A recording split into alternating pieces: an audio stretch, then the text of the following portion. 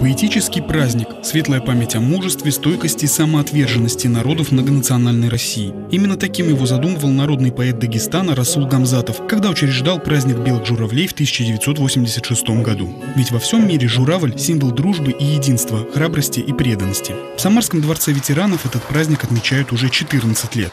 Праздник белых журавлей – это праздник поэзии, праздник дружбы народов и памяти тех, кто положил свою жизнь на алтарь победы на всех полях сражений.